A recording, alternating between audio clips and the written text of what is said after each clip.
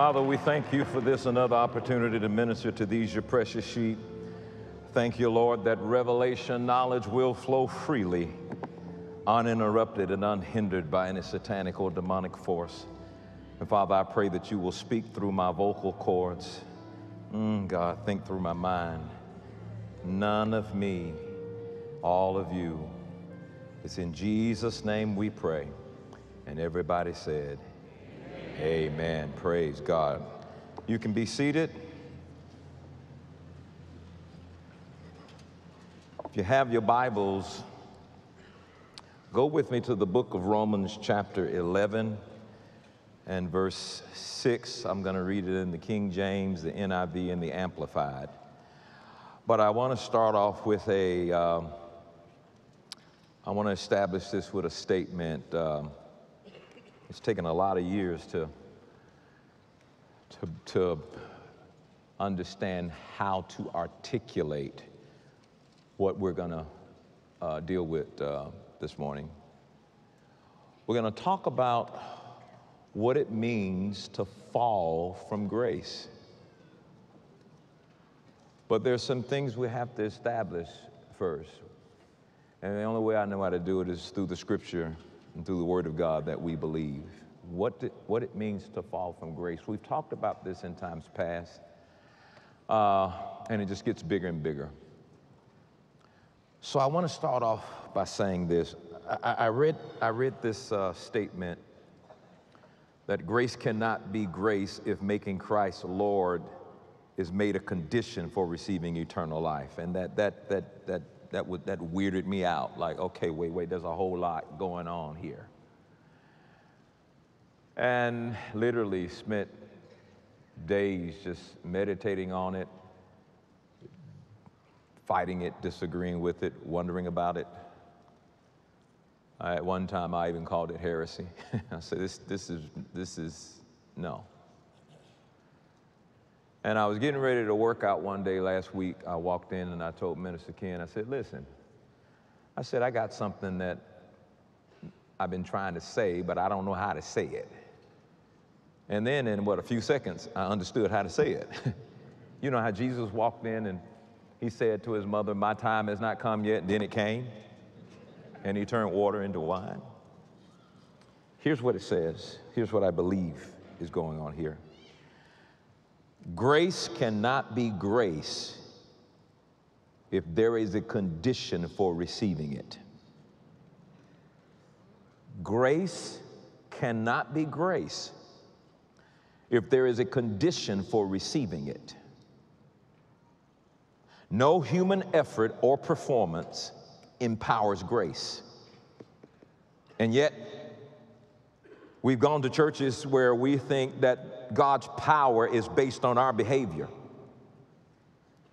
We've gone to churches where we think, well, you know, I'm going to show you the behavior so you can reap the benefits of his power.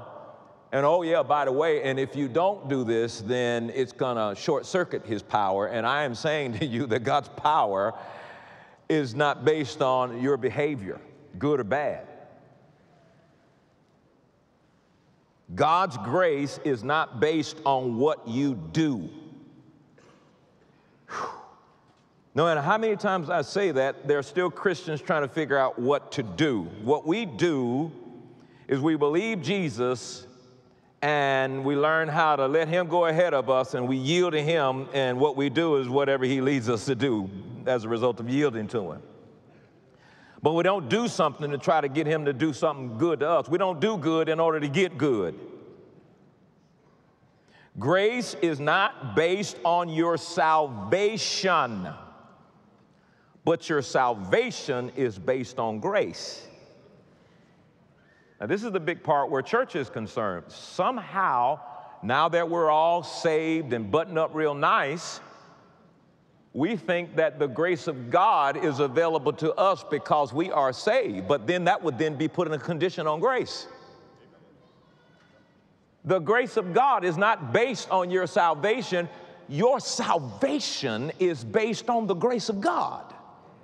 You were saved, Ephesians chapter 2 and 8. You were saved by grace through faith. Your salvation did not make grace available. You were saved by grace. Grace was given, and then the, the beauty of the gift of grace provided all of these things for you who believe. Does everybody follow me here? Because we get into church and we think, oh, that, ain't, that can't happen because you ain't saved. God ain't gonna forgive you because you ain't saved. Uh, uh, there's no way you can prosper because you ain't saved. How many of y'all remember when you were raised in hell that you bumped into some goodness of God, and you, when you was raised in hell, you bumped into some goodness, and it convicted you. You're like, I don't even know how that happened. I, I want to take you through the scripture, and I want to show you that grace was extended to the whole world, even people who had yet received him. Grace was given to me before I believed, before I got saved. Grace was given to a fallen world. Are, are y'all following me here? All right, let's, let's go through these real quick. Uh, uh Romans 11, verse 6 in the King James, NIV, and, and Amplified. I, I want to spend a little special time with this. King James says, But if by grace, then it is no more of works. Otherwise, grace is no more grace. But if it be of works, then is it no more grace. Otherwise, work is no more work. So if you did something to get it, grace ain't involved. You earned that. That's yours. Look at it in the next uh, translation. Uh, NIV. And, by, and if by grace, then it cannot be based on works. If by grace, it cannot be based on works. If it were, grace would no longer be grace. Wow. And then the Amplified.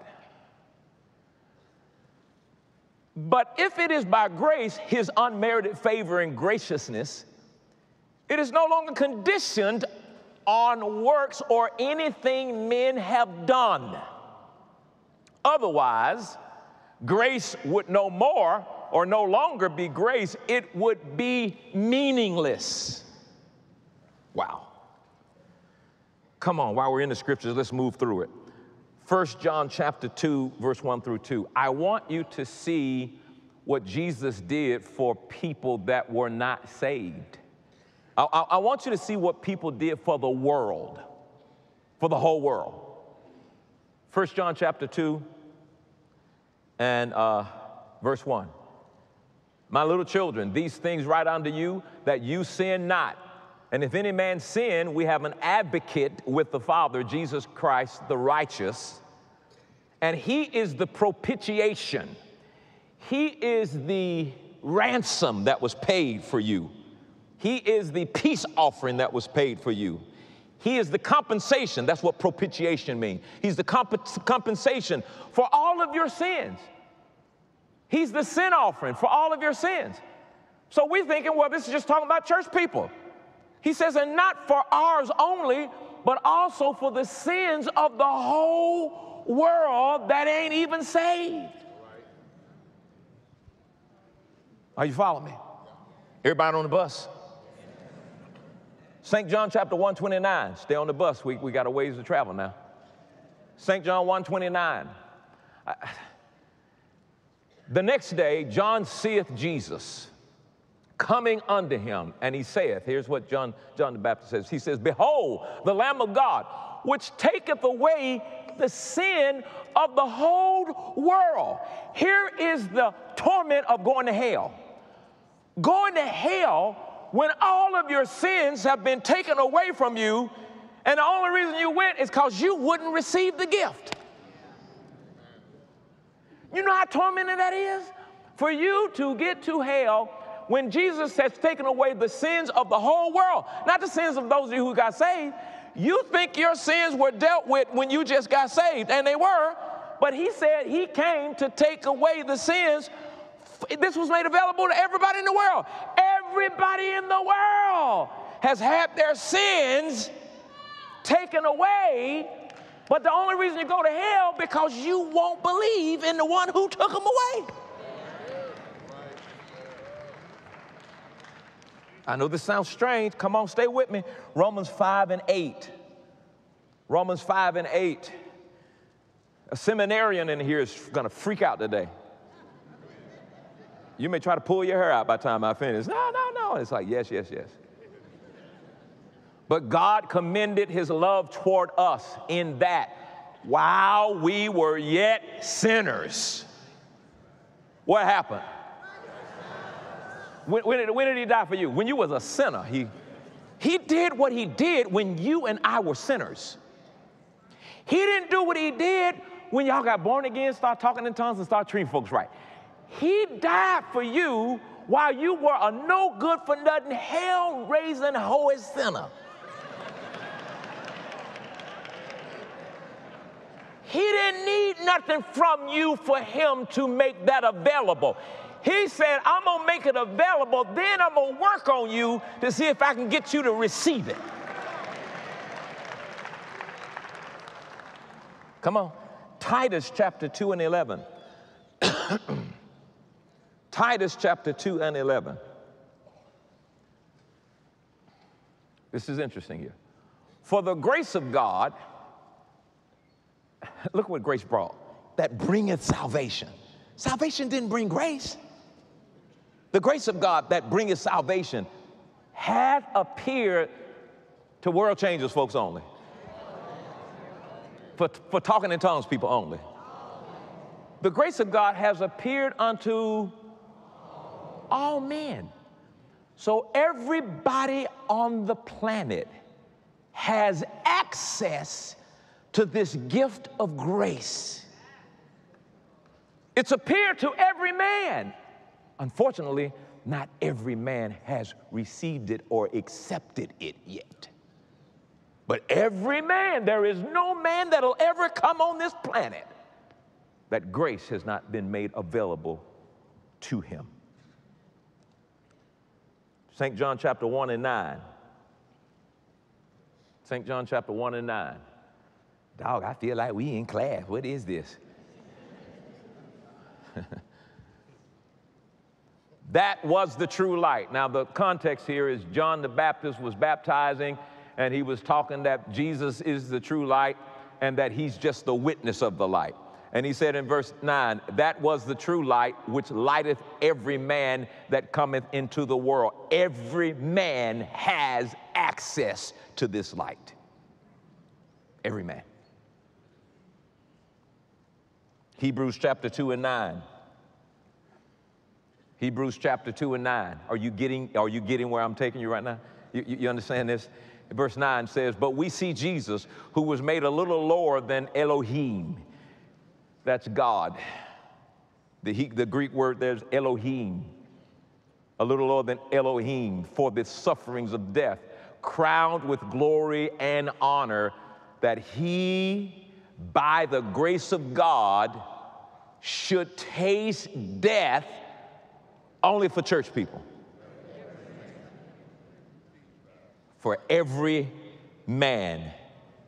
And then finally, John 17 and 3. John 17 and 3.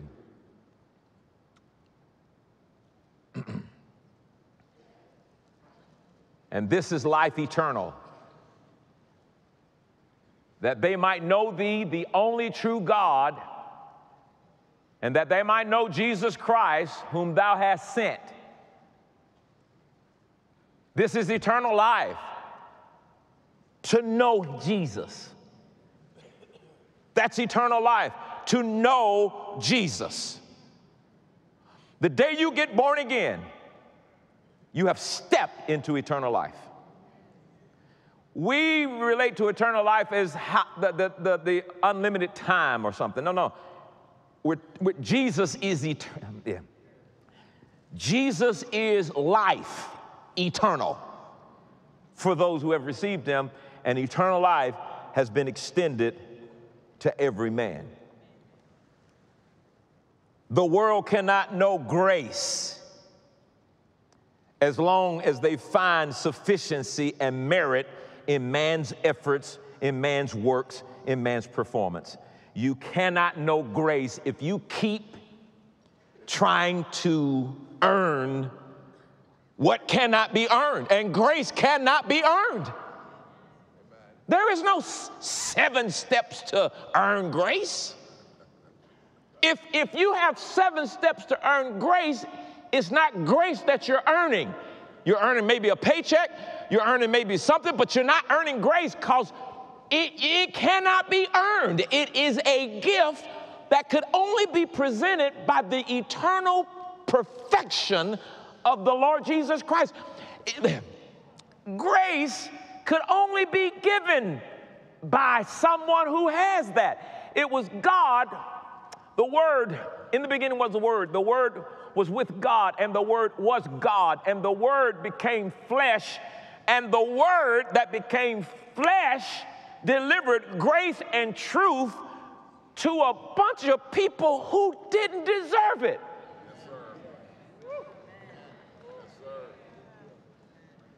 And you've received a gift, if you've received it, a gift is available to you who don't deserve it. And the, one of the reasons why people are not saved right now is because religion has put so many qualifications and conditions on Jesus. And I'm telling you, it's a lie.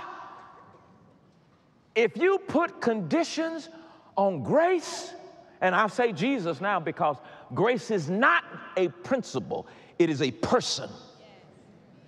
Jesus, full of grace and truth. So when I talk grace, I'm not talking about a subject matter, I'm not talking about a curriculum matter, I'm talking about a person. So every time you see Jesus doing anything, that's grace. Grace showed up, wrapped up in flesh, to present to fallen man something he can't earn or deserve. Grace showed up to say, I ain't going to do for you what you cannot do. I'm going to give to you what you cannot earn. And I'm going to take you to a place you cannot go without me. And all I want you to do is believe it. And you keep saying, I believe, but then, you know, God helps those who help themselves. All right, grace has ceased. You won't know grace now because you keep going back to something you have to do to deserve it. And that freaks church minds out because you got to do something. You got to do something. And then you go to the, to the obvious thing. Well, well, what about this? Do you just sit around? No, you don't sit around. You trust God and then you trust God to show you what to do. You trust God and you trust God to lead and guide you. You trust God. That's that, our life is a life of trusting God. It's not a life of let me come up. I got five things I know I can do to get myself, get God to do something good for me. And then if the good should happen because of grace, and at the same time you did three or four things, you're going to give credit to the three or four things that you gave. That's why he said, don't boast. You were saved by grace, not of yourself. It's a gift of God. So you can't boast about a gift of God because you didn't do nothing to get the gift of God. But we got, li- listen carefully in church. There's a lot of boasting. A lot of boasting, boasting about what you did in the prayer closet, boasting about, you know, what you gave, and, and how, you ought to do like I do. That's where it's getting to. Do like I do. If you would give like I give, then you have the business like I have. And I know people who giving better than you giving, and they still ain't got what you got because it is not predicated on your effort.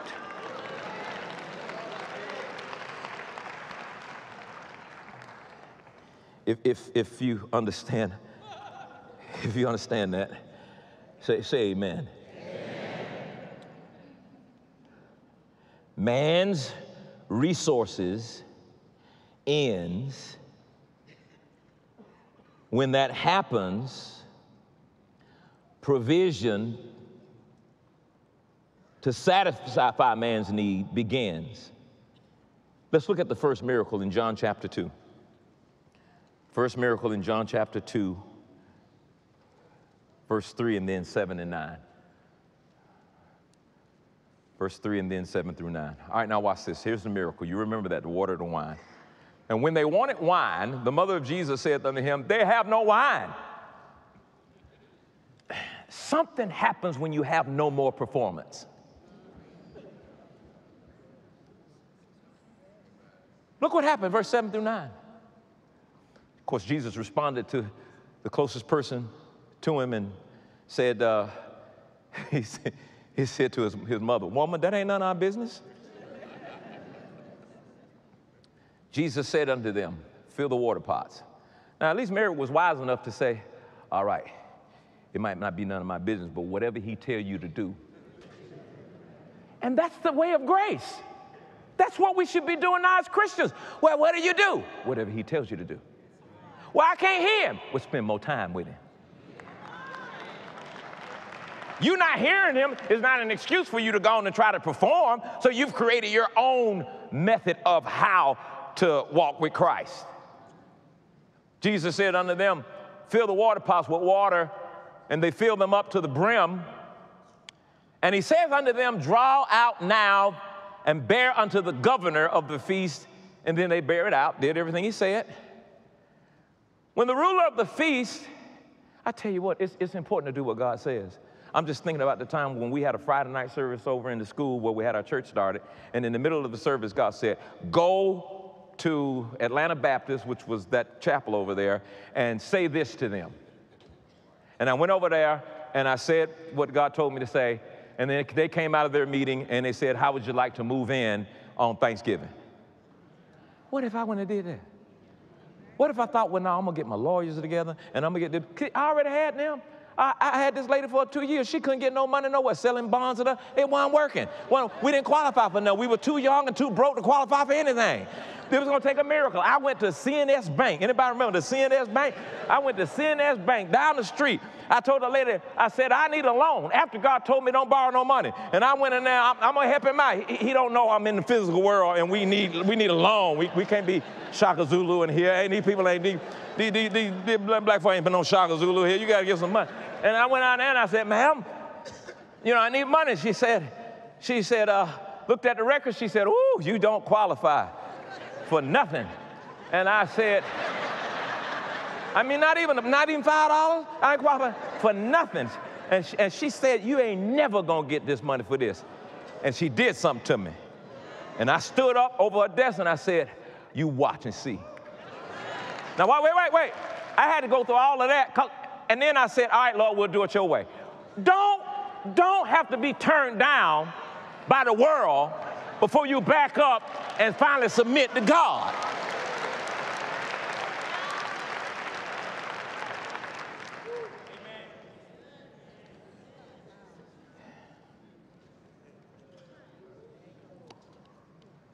And when the ruler of the feast had tasted this wine, water that was made wine and knew not whence it was, but the servants which drew the water they knew, and the governor of the feast called the bridegroom. Look what he said.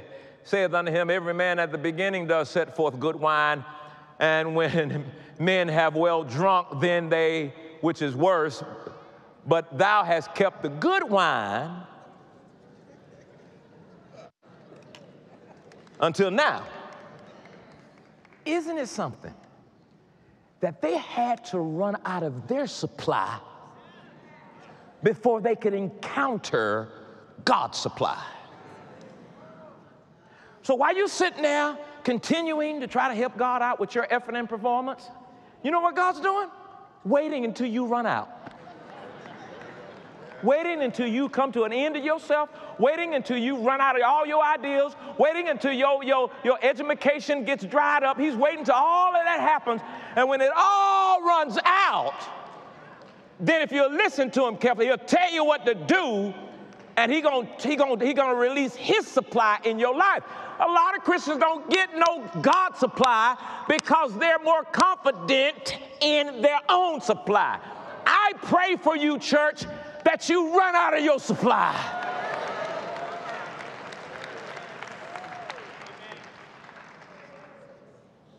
God, help me to run out of my supply. Help me to run out of my ideas unless they come from you. Help me to run out of my performance unless it's something you told me to do.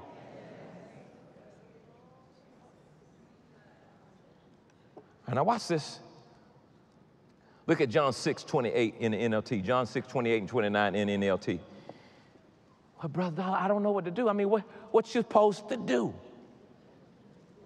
Well, I tell you what you're not supposed to do. You're not supposed to try to get grace to operate through your effort, your performance, and your works. What am I supposed to do? Well, Jesus tells us here. They had just seen the miracle of the bread and the, uh, uh, the fish and the bread multiply. And they replied, We want to perform God's works. That's the whole church right there. They want to perform God's works. They said, What should we do? Pretty good question. Jesus told them, This is the only work God wants from you. Believe in the one he has sent. And that's hard for church folks to get. Believe in the one that he has sent. Well, what's happening Why I believe in him? Philippians 2 13 in NLT. Philippians 2 13 in the NLT.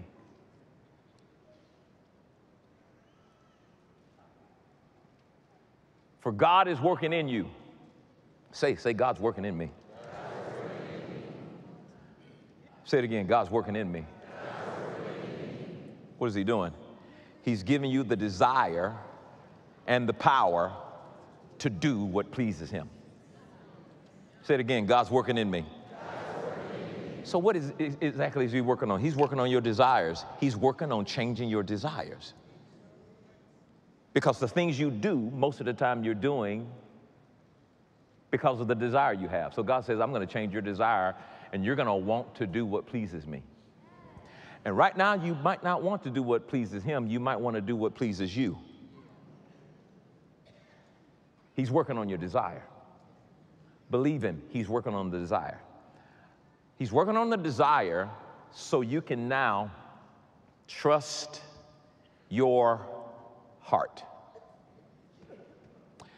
Maybe it was hard for you to trust your heart before you got saved, but now that you're saved and you have a new creation in you, and you have this desire to do something that's born out of that new heart, you can trust it. Oh, wow, I really have a desire to work with children. And, and you can you say, well, what's the will of God? Well, trust your heart. You, the will of God just came out of your heart. It just you can trust it now. Before you couldn't trust it. A, a lot of you have these the will of God's coming out of your heart of that new creation, telling you what to do, telling you what to go, and you won't do it because you you're scared. You want to hear something through your head, and He speaks through your heart, and you can trust your heart if you you can you can trust your heart. It's not in your heart for no reason at all. It's in your heart because you're now born again. It's in your heart because the old man has been removed and the new man is on the inside. It's, it's in, in your heart because you, you want to please God. It's in your heart because you believe in Jesus. It's in your heart because you're renewing your mind. And then out, it, out of your heart, the will of God comes and you can trust it. You don't need to go and fleece God. Well, if that's really the truth, I can't tell you. I went to God the other week and I, apolo- I, I apologized and then and still asking for a fleece. I said, Lord, I apologize, but I done confused myself. Anybody ever did that? I done confused myself. Now I thought you said turn right. I went right, but I went halfway. Then I went back and turned left. And then I went to my heart after I did all of that. And then, and then I thought my heart was saying this I, I need a fleece. Somebody said, what do you mean? Well, God, if you want me to do that, then let that happen. And if that don't happen, then I know. Don't look at me like you ain't never did that. and then I look back, there was some things in my heart, and it happened, and I didn't do it. And the reason why I didn't do it because I had something else in my heart. Bitterness. Bitterness is unforgiveness that has simmered. You forgot it was there. Now, I'm setting you up for the answer to the question what does it mean to fall from grace? But you got to understand how this thing works in relationships. Let's look at one more and we'll, we'll, we'll, we'll get busy answering that question. Ephesians 1 5 through 6 in the NLT. Ephesians 1 5 through 6 NLT. So you can trust your heart. You're born again. You're seeking God. He's changing your check it. Go back if you will. And, and somebody says, Well, did, did God give you the fleece? No, you know that. I was just seeing if he might have was feeling generous today. He- I'm not doing that. It just indicated I needed to grow some more.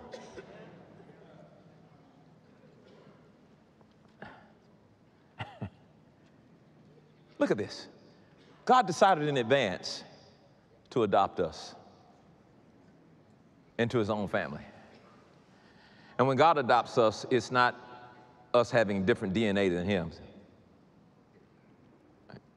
He adopts us as adult children with the same DNA.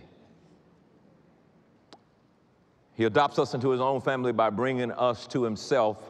How? Through Jesus Christ. This is what he wanted to do. And he gave and it gave him great pleasure to do it. So, we praise God for the glorious grace he has poured out on us who belong to his dear son. I praise God for the glorious grace that's been poured out on me because I received it. Many have yet to receive it. Every man has gotten it, but many have not yet received it. Now, what does it mean to fall from grace? And you'll see why we had to do that first. Go to Hebrews chapter 12, verse 14 through 17. Hebrews 12, verse 14 and 17. All right, watch very carefully now. All right. Put your thinker on. No, do that in the King James. Hebrews 12, 14 in the King James. He said, Follow peace with all men and holiness, without which no man shall see the Lord, colon. It's not complete yet, right? You got to read the other side of the colon, what he's talking about. So, so far he said, Follow peace with all men, follow holiness, without no man shall see the Lord. And a lot of guys like to see that say, see there, see there, you got to be holy if you're going to see God. You got to be holy if you're going to see God. Read the whole thing. Follow peace with all men and holiness, for without no man will receive the Lord, see see the Lord. Colon, finish the thought, looking diligently lest any man fail of the grace of God. If you look somewhere in your Bible, the Greek translation here is if any man fall from the grace of God.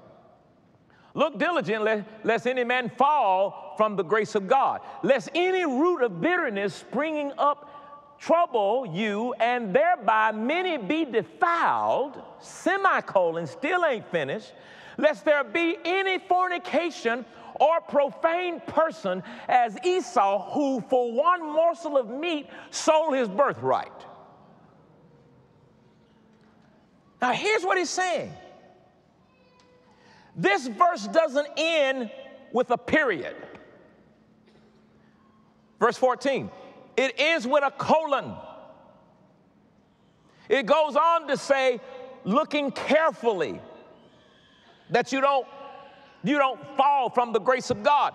So the way to pursue peace and the way to walk in holiness is to make sure you don't fall from the grace of God. If you're going to pursue peace, don't fall from the grace of God. Because to pursue peace, you better have the grace of God. How many of you have, have tried to pursue peace in your own effort and it got worse? He said, Don't fall from the grace of God if you're going to pursue peace, and don't fall from the grace of God if you're going to pursue holiness. Because you're not going to be able to pursue holiness or peace if you fall from the grace of God. It's going to take the grace of God to pursue holiness and peace. You're going to need the grace of God to, pursue holiness and to pers- and pursue peace. So sometimes, like I said, they make it sound like you don't have holiness. Uh, you, if you don't have holiness, you're going to go to hell. And not knowing that the gospel says that if, if it's not a matter of holiness, but it's a matter of do you believe the gospel? It's a matter of, uh, uh, of the good news about Jesus Christ on the cross. It's a matter about shedding the blood. Now, uh, shedding the shedding of his blood. Now, notice what he says here. If you want to pursue peace, if you want to pursue holiness, don't fall from the grace of God. Because if you fall from the grace of God, that's what he said, less any, if you do this, this will happen. If you fall from the grace of God, a root of bitterness will spring up. Spring up. Which lets you know this is going to be a process. Bitterness don't let you know it's there until later. Somebody did something to you, and you being religious say, I forgive you, but it didn't, you didn't really, you didn't really deal with that. It was still there simmering. And if you ever want to find out if that's true, if that issue come up in an argument, it ain't been dealt with. It's still there. How many times you gonna bring that up is saying it's still there. And, and the problem with it still being there, and you don't, and you're falling from grace. See, you're falling from grace. Oh, let's see. Okay, let me just say this, and then I can define what it means to fall from grace, you'll understand. But when you fall from grace, pursuing peace is gonna become a challenge. Walking holy gonna become a challenge. Because you need grace to walk holy, because you, you, you're imperfect. You're not gonna be able to do that without the grace of God. But also, a root of bitterness will come in. And you look up one day, and your wife has committed adultery. Somebody said, That just happened. No, it did. That's been simmering the whole time. And if you don't restore your position in grace, a manifestation of bitterness will be the results. A lot of people don't understand this trick of the devil fall from grace, root of bitterness, manifestation of, because what bitterness says is, you hurt me, and I'm going to do something to hurt you back. Now, let's look at what it is. Uh, go to Galatians chapter 5, verse 4. Galatians chapter 5, verse 4.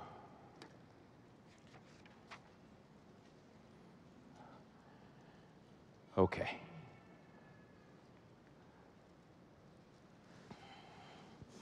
All right, y'all, let's dig. Ready? Christ is become of no effect Who in the world wants to hear that? When you're sick, no effect. We're in trouble, Christ has become of no effect. That's the one I'm supposed to depend on. Christ has become of no effect. Whosoever of you are justified by the law, you are fallen from grace. Now, what we have heard on television and on the news is when somebody falls into sin, they, they, the topic is such and so, such and so fell from grace because they fell into sin. The truth is, is when you fall into sin, you just fell into grace. Or they potentially. To fall from grace means that you fall back into trying to be justified by the law. Or you fall back into your self effort. You fall back into depending on your performance. You fall back in depending on your works. He said, Christ has become of no effect of you. Why? He can't have effect in your life. Why? Because you think that you can. You have fallen from grace because you have fallen back to your old way. You have fallen back to trying to do things on your own. You have fallen back to trying to accomplish things on your own. You have fallen from grace when you go back into trying to perform and trying to get God to perform based on your performance. You've fallen from grace, and Christ can't have no effect. You've fallen from grace because you've got 10 things to do to deal with this, but Christ says that can't have no effect. See, when you work to try to make something happen, you deserve the, the, the payment for it. What it is, is you went to work and you deserve to pay. But if Christ will do it, you can't work. You've fallen from grace.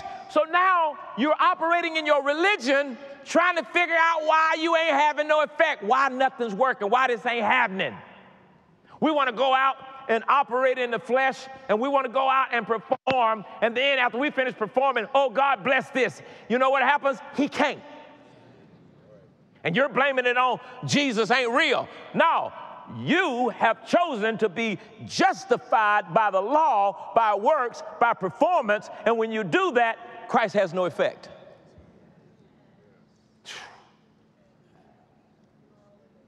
Somebody says, no, the reason why Christ doesn't have an effect is because of sin. That's all they do. Sin. Sin is the reason why you didn't get the promotion. I lost some weight so my cheeks don't jiggle like they used to. Sin.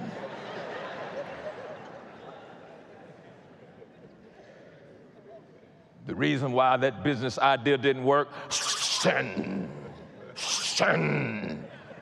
Sin is the reason why uh, you, you're having problems with your children. Sin is the reason why you're having problems in your marriage. Sin. Sin. And I want to say to old Shaky Jaws, well, why you got problems? Is it sin?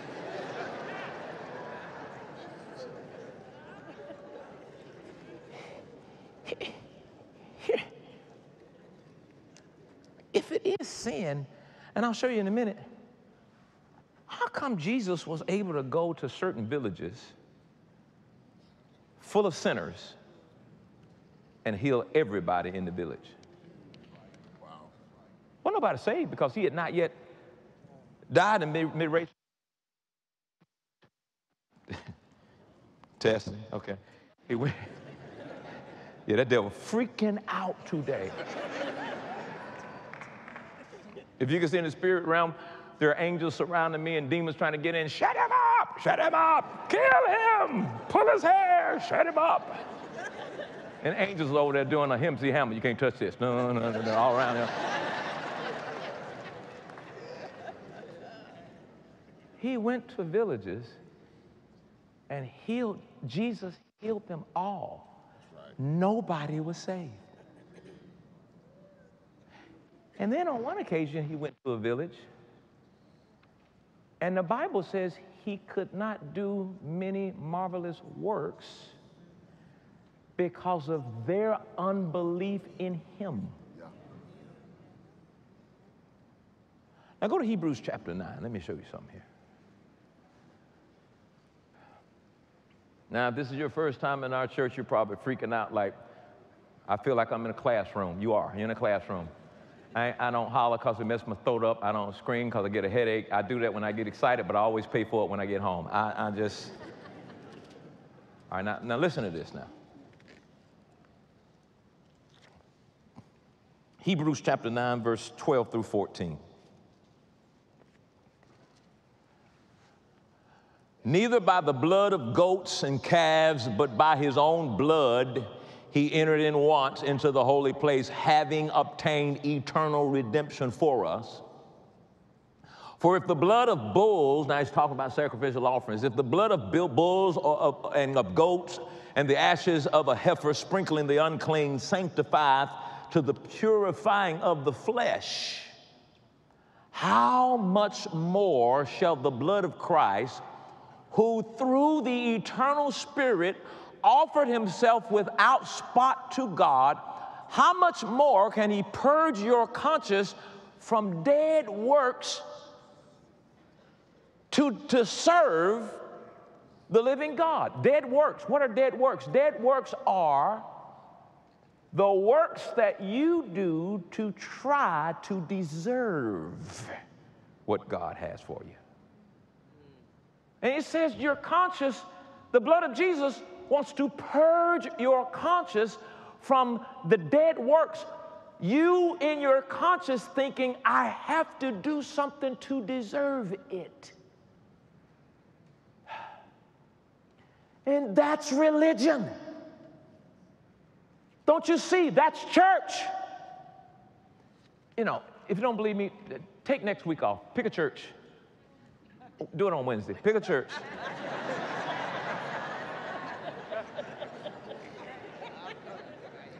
and just sit there. And it will be a work based gospel. It will be a performance based gospel, which says you have to do this if you want God to do that. That's called dead works. It says you got to be good if you want God to be good to you. That's dead works. That's not grace at all. And when you do that, Christ has no effect. Nobody wants to hear that. You spend time praying, no effect in prayer life, no effective prayer life. You spend time doing whatever you do, but no effective, no, no effective prayer life because you keep doing things to earn it. It's dead works. It's dead on arrival. Look at uh, Romans chapter 10, verse 3. Romans chapter 10, verse 3. Falling into grace is falling into the law based condition, okay? Condition, the law was conditional. It means you had to meet a condition in order to get the promise. That is true under the old covenant. Under the old covenant, there were conditions that you had to meet. And if you wanted to be blessed, then you would have to do this. If thou, that was the key. If thou, if thou, if you want to be blessed, if thou, if thou. But if thou not, you're going to either be blessed or cursed based on you meeting the condition or not meeting the condition. If you meet the conditions under the law, then you would be blessed. If you didn't meet the conditions under the law, you would curse. And a lot of people died because they couldn't meet the conditions because the condition was not able to be met.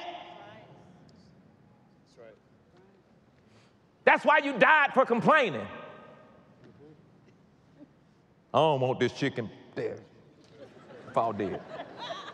You get to heaven like, what I'm doing here? I just said I ain't like the chicken. Complaining. Or you went and sat down at the bottom of the mountain after he told you not to do it. You're dead. Because he was trying to show you when in Exodus 19 and 8, the word of the Lord came from Moses and they responded like this We can do it. We don't need God. We can do it. And literally, all hell broke loose with perfection. God says, I'm going to give you something so perfect that you cannot do. And I, until you come to an end of yourself, I got to prove to you you can't do this. And there are churches today, I've heard preachers say, I keep all the commandments. There's 613 of them. You don't even know all of them. You don't even know all of them. Nobody has ever kept all the law except for one man, our champion, Jesus Christ.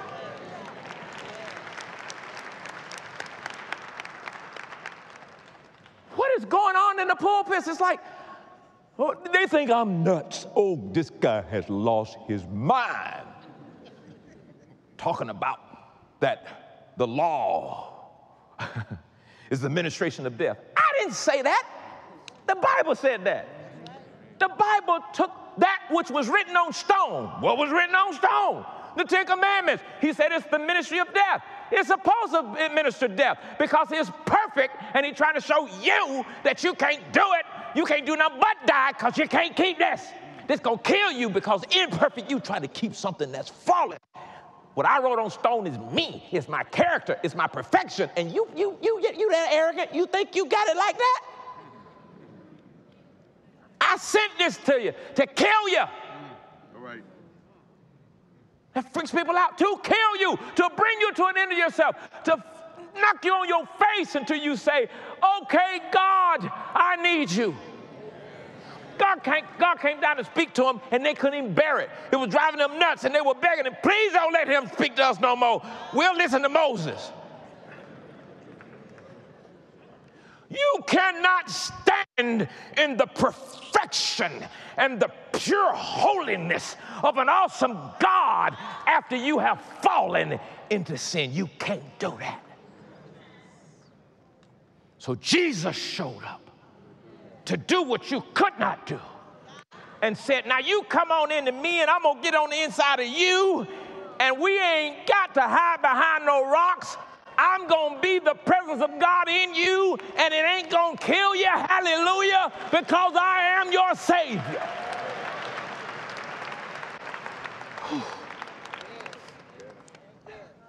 Have we read Romans 10 3 yet?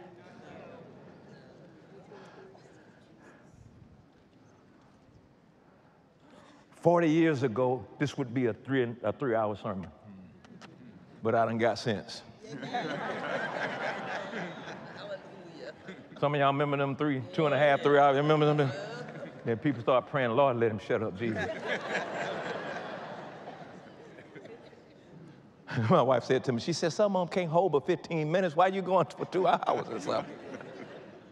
for they being ignorant of God's righteousness and going about to establish their own righteousness.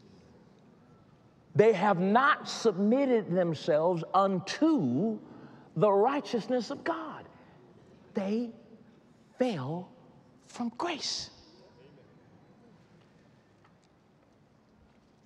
Romans chapter 4, verse 2 and 3 in the NLT. Let's read this in the NLT. Oh, glory to God. Y'all getting this?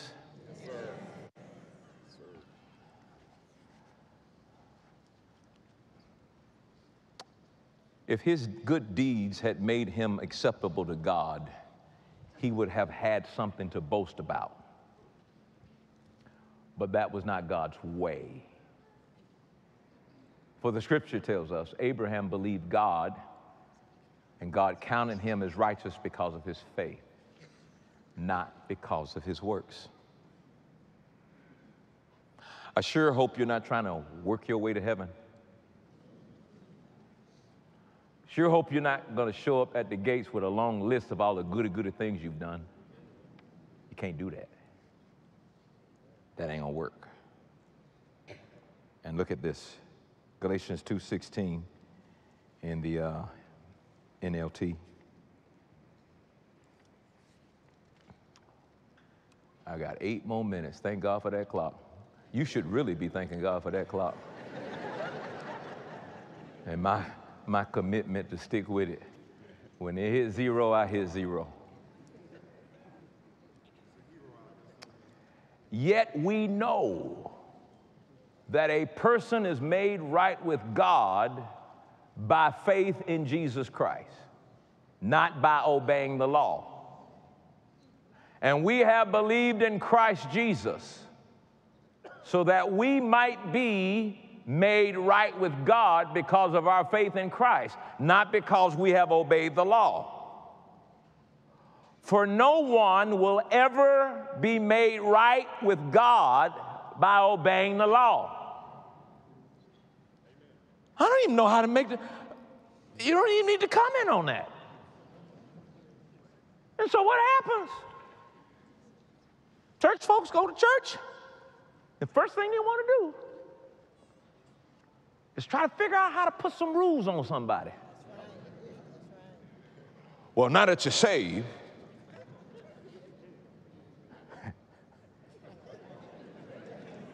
what's the name of that place we pass on the way to the game every Sunday? That club. Yeah, yeah, yeah, yeah, yeah. Can't go to Magic City no more. Now, true enough, going to Magic City is not going to be good for you. I am not saying. See, if the Spirit of God is working in you, changing your desire, this desire for Magic City is going to be changing. It is not, well, since we ought not be operating by rules, yeah, but you're operating something greater than rules. You're operating by the Spirit of God who writes it on your heart. You're operating by the Spirit of God, and the Spirit of God is writing on your heart. You will now begin to do things by uh, intuition. You, you, it'll be out of your heart.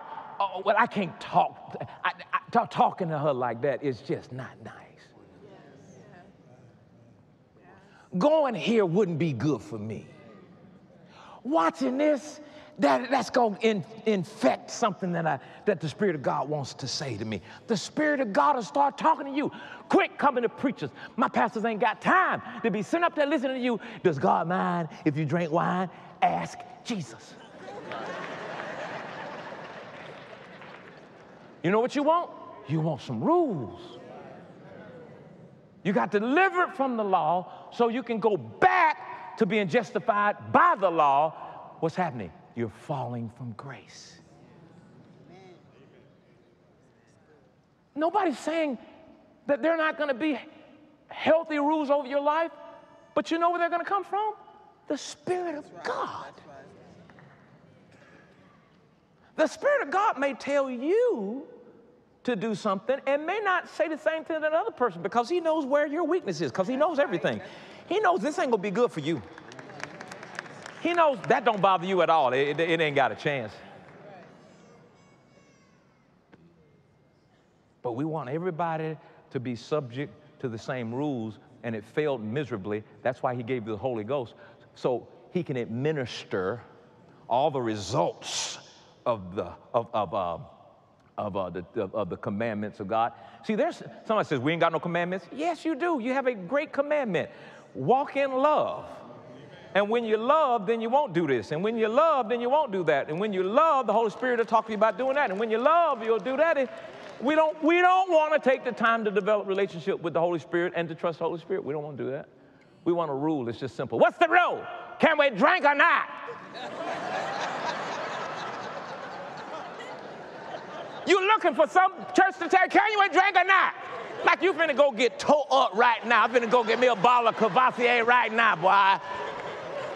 Reb said it's all right to drink. Yeah, I think he, I think he was a little drunk when he was telling us that too. Yeah. Stop. This is about a relationship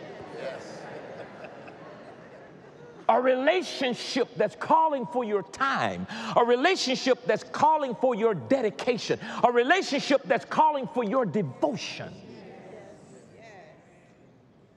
a relationship that's calling for your body.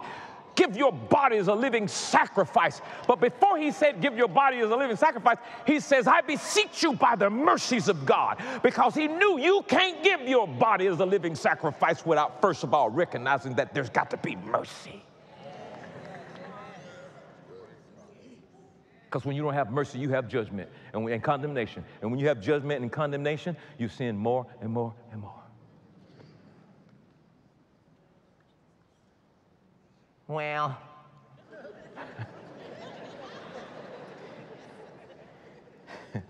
lady told me one time, she said, I like the way you used to preach. I don't know about this grace stuff.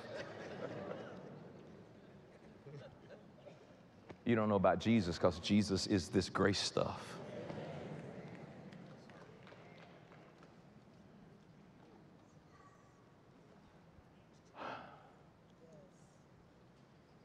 I'm not promising you that you're going to walk out of here and everything's going to voila be fixed.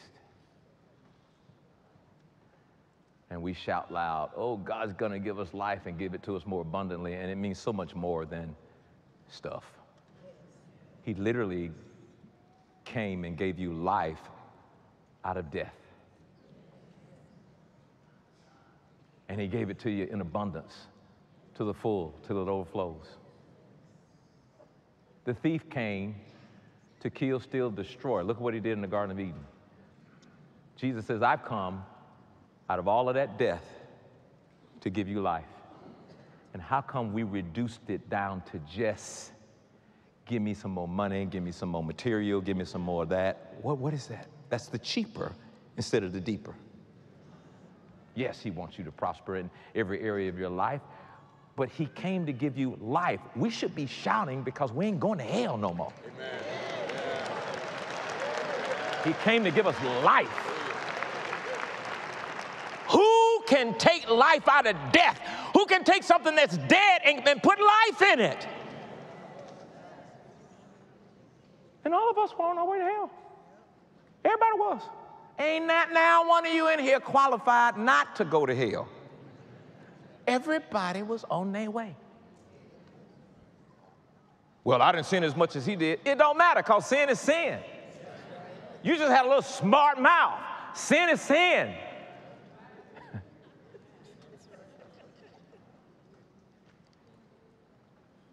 when we fall from grace, uh, yeah, Lord. You remember that uh, woman with the issue of blood?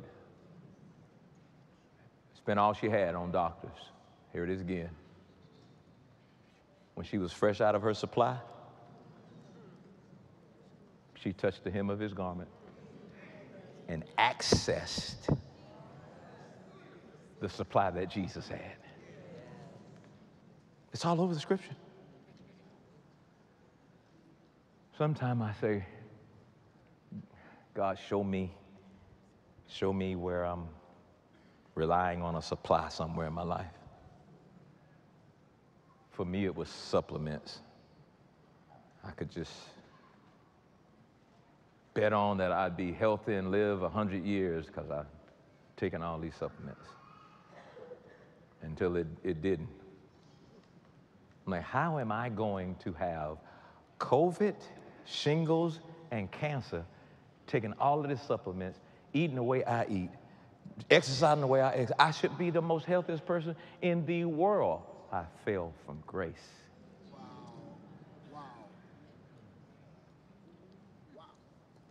I was dependent on that. Can't do that no more. Now, I'm not saying. Pastor Doss said don't take no supplement because you fall from grace, you take supplements. I mean, help me, people. Help me just a little bit. You can take anything dependent on God. But my dependence on God had weakened and my strength for supplement had strengthened. I take a few still today, but I don't trust them because I know that all power ain't in this pill. All power is in Jesus Christ.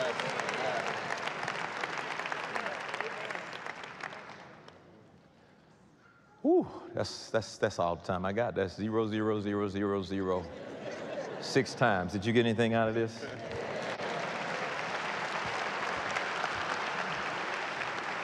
Every head bowed, every eye closed. We'll, we'll pick up with it later. Father, we thank you that in the name of Jesus,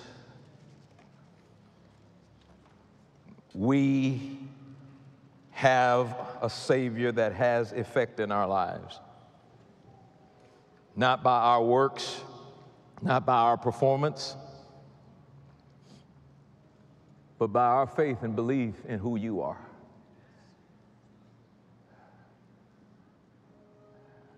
Help us, Lord.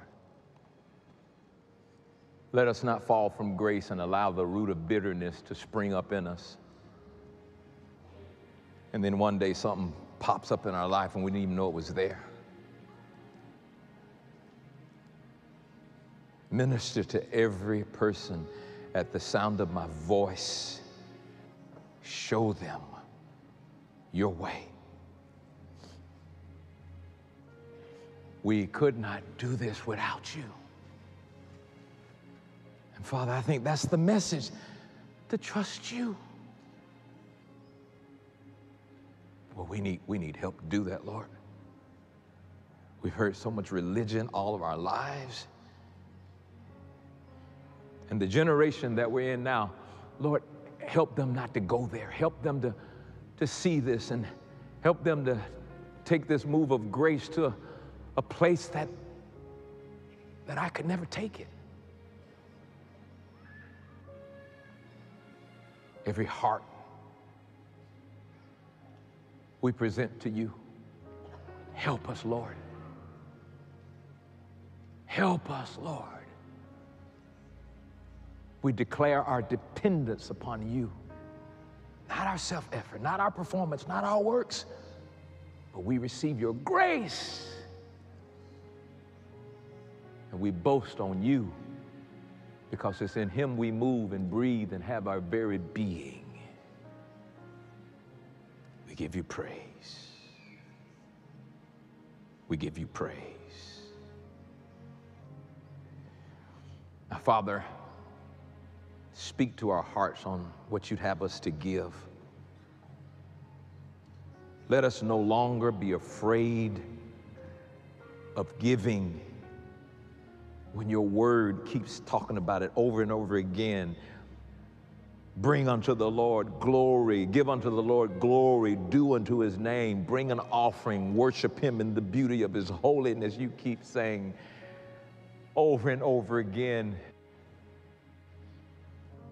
And we trust that you take care of us and deliver us from mammon. And may we give with a cheerful heart, a heart that trusts you.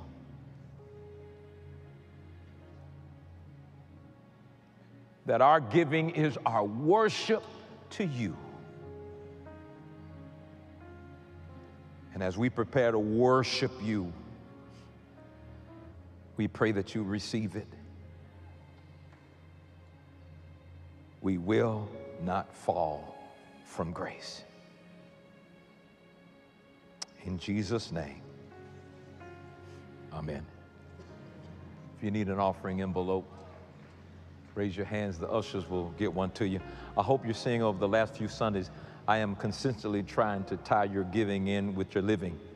It's not separate. It's not, oh, the show is over with. Let's take up an offering. It's a worship to give unto the Lord. It's a worship to give generously unto Him as He has done unto us. And when we begin to see this as a worship, we begin to see this as a necessary part of our lives. Give to the Lord. Some people, all their lives, are going to just see it as, well, it's just money. It's just money. No, no, no, no. That money represents my time and my sweat. And the Bible says, all things come of thee, O Lord. So what I give to God was his already. He just wanted to see if I was going to worship him with it or if I was going to do it, worship myself with it. Yeah, this thing's coming to a close, yeah. You know, an election's coming up in this country, it's gonna get crazy. And we gotta pray. There are all kinds of demon spirits that are loose. All of the isms are loose. But the word says, as for me and my house, we're gonna serve the Lord. And that's what we're gonna do. That's what we're gonna try to do is keep you focused on Jesus Christ. And when chaos increases, grace will increase more. When sin abounds, grace will abound more. It's on you. It's on you.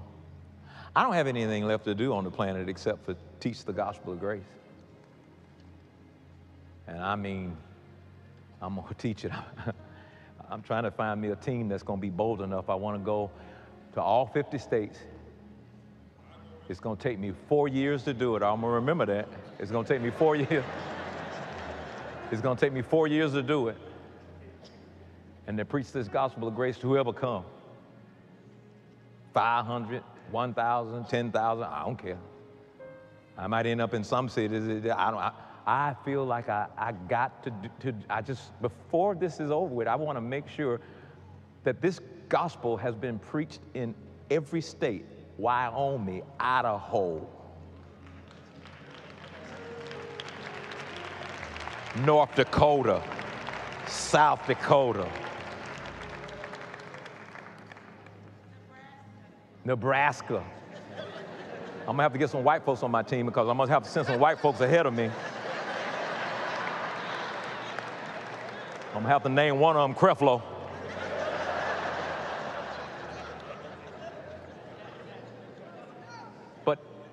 The Bible says when this gospel, this gospel, has been preached throughout all the world, then the end will come. I'm ready to rock and roll. And I'm telling you, don't, don't dog out this, this, this, this generation. I don't know what they call themselves now, the, the generation that's in right now. They, what, what they call? Gen Z. They, they're going to rock and roll. Y'all better watch out. They are going to usher in such a glory of God because they are, they are, they are not going to just listen to any kind of nonsense. Bishop Fuller said something. We were doing a podcast this week. He said the biggest enemy to a new movement is the old movement. I said, boy, Ken and I said, that's a Kenny Fuller special right there. Boy, that's another one right there. Trying to keep the evolution going. Now, Jesus is not evolving and changing. Our understanding of him is doing that. So let's go ahead and receive our offering.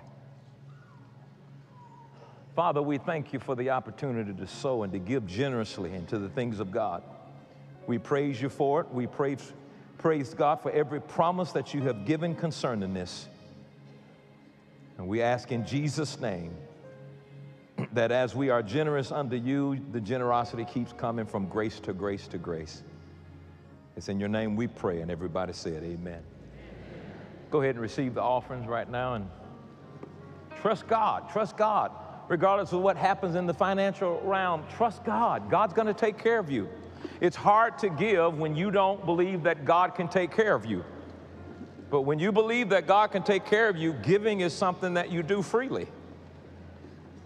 Amen.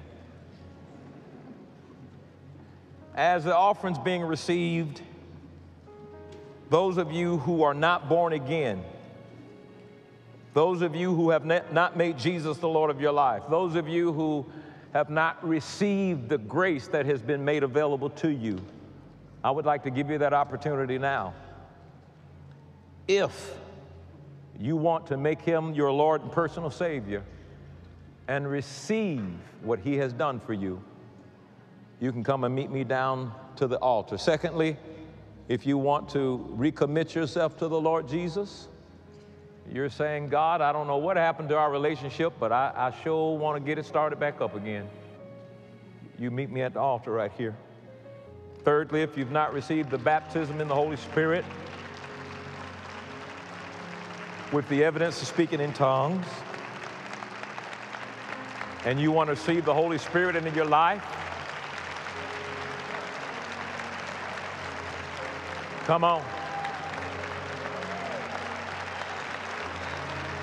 And last, last but not least, if you believe this is the brook that God has called you to. He said, Go to a certain brook, and there will I sustain thee.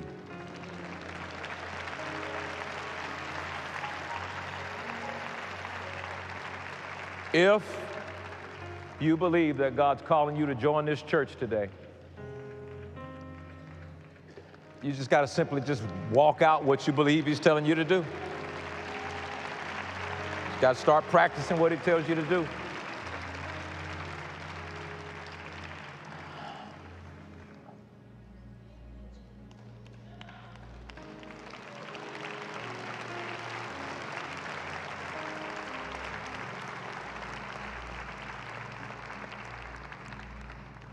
I love you, Jesus. I worship and adore. Just want to tell you, Lord, I love you more than anything.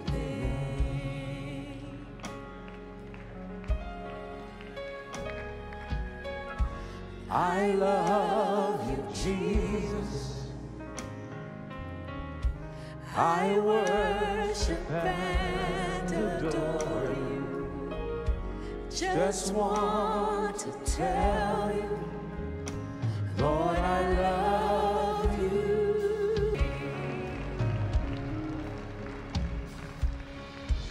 I love you, Jesus. I worship Just want to tell you, Lord, I love you more than anything.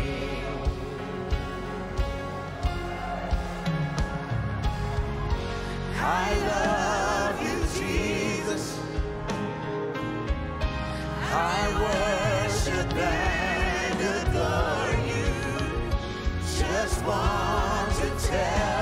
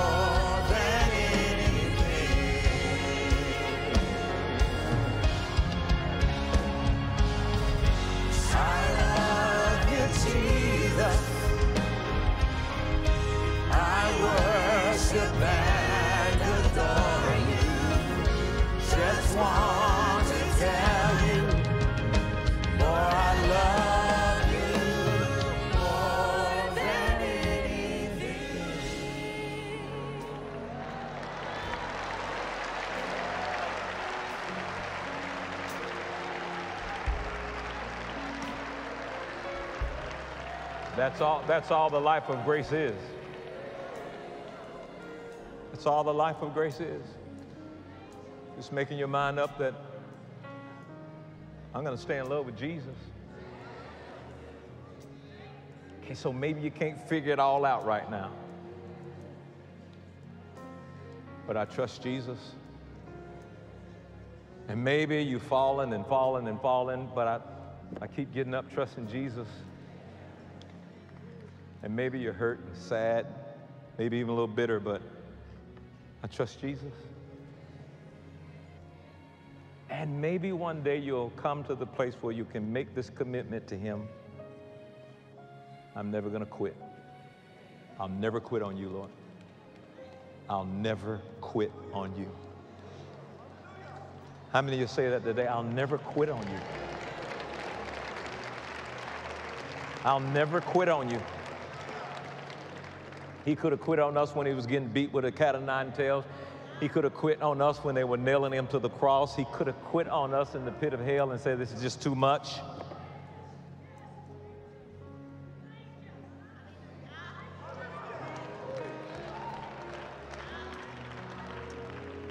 Yeah, everything's going to be all right, guys. Father, for those who've come to this altar, I pray whatever needs to happen with these precious lives, we trust you, Lord. Do it. We praise you for it now in Jesus' name. Amen. Uh, if you'll turn this way and follow this gentleman to the prayer room, he's going to take you and give you biblical understanding of how to obtain and how to maintain what you came to receive. We thank God that you're never going to be the same again. You can stand for our final blessing. Thank you so much for coming out to church today and not listening in and looking at all the clouds in the sky. You're a blessing.